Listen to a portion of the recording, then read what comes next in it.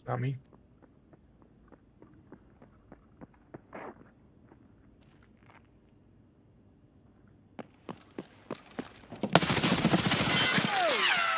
Good shit. Can I help you?